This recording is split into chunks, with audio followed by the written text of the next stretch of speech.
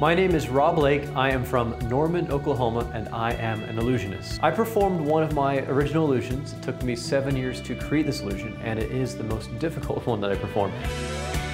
I made myself disappear from the lobby and reappear on the stage, surrounded by Heidi and Tyra and all these volunteers that we chose from random. When they dropped the curtain and I was there between them, they were stunned. It was magic for me and I think magic for them too. And I looked underneath. I mean, there is nothing underneath. I mean, wow. I loved it. Heidi kept replaying what happened. She said, I was there, I was there, and Simon said, we saw, we were there, we saw it too. But she was going over and over uh, what happened, and it still was just amazed over and over. And I'm going to give you a fourth yes. Thank you. I have a lot of illusions uh, that I've created that I'm very, very proud of, so it's going to be a tough decision to choose the next illusion for the next round. Hi everybody, I hope you enjoyed this video. Subscribe right here for more.